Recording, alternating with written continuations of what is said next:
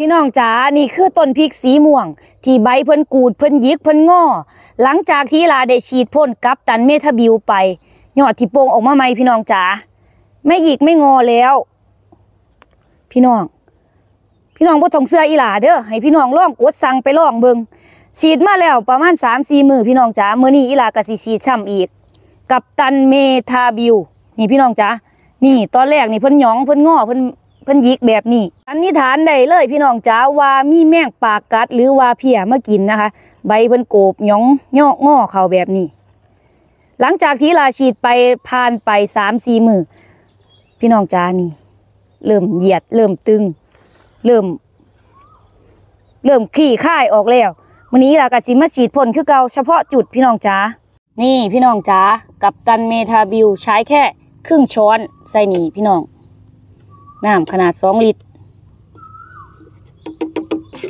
ฉีดพ่นให้ทั่วๆเลยพี่น้องจ๋าบริเวณใบกียิกที่งอกตรงนั้นอาจจะมีแมลงปากกัด หรือแมลงปากดูดซ่อนอยู่พี่น้องจ๋าหรืออาจจะเป็นเพียก็ได้จ้าโดยส่วนโตแล้วอีลาใส่แล้วขี้ค่ายพี่น้องจ๋า